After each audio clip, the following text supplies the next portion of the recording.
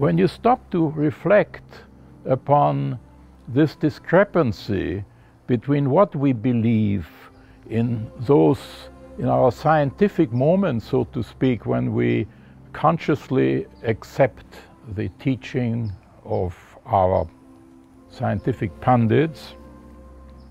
and what we believe the rest of the time we it is staggering to to reflect upon the utter contradiction between these two views. Now, let me just uh, say without a moment's further delay that if we were to fully believe what the scientists are telling us, supposedly on solid scientific grounds, we would be utterly dehumanized.